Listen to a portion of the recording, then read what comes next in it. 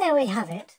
As from today, on the 5th of November, you cannot metal detect.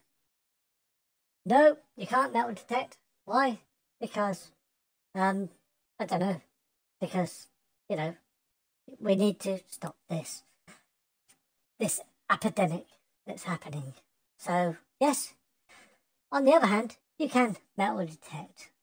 Like we said, and I will stress that yes, we can metal detect.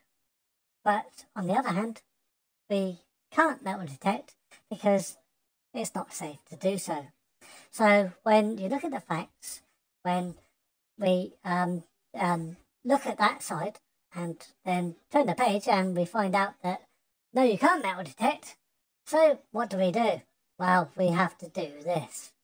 We really have to look at the situation here.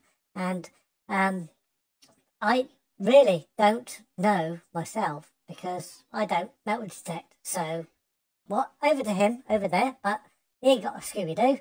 I haven't got a Scooby Doo because I'm down there. And, you know, so just go out metal detecting and be safe and go and find that hoard. Come on, because we need it. We need you to find that hoard because it's going to fund our NHS. Okay? So, over to him. No, he's fucked off.